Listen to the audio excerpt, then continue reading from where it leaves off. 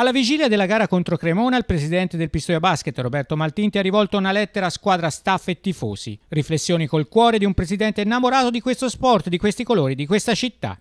Nella missiva Maltinti parla di prima vera partita, non certo dell'ultima.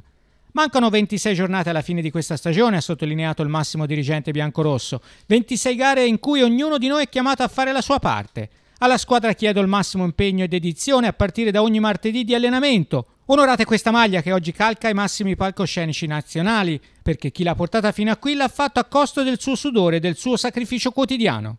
Allo staff chiedo l'entusiasmo, la professionalità e la passione sempre dimostrata in questi anni. Aiutate a crescere i tanti giovani che compongono il nostro roster, perché alla loro crescita sono indissolubilmente legati i risultati che riusciremo a raccogliere. Ai tifosi faccio la richiesta più grande, stateci vicino. Abbiamo bisogno di voi, delle vostre critiche senz'altro come spinta verso un continuo miglioramento, ma anche e soprattutto del vostro calore, dei vostri applausi, della vostra voce.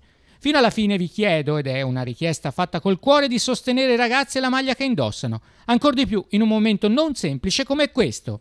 Restiamo uniti e sereni, ha concluso Roberto Maltinti, come sempre quando si parla di sport e come lo siamo stati negli anni delle vittorie e dei record. Remiamo e spingiamo questa barca verso il mare aperto, sapendo che arriveranno anche altre tempeste, ma con la consapevolezza di avere la forza per superarle.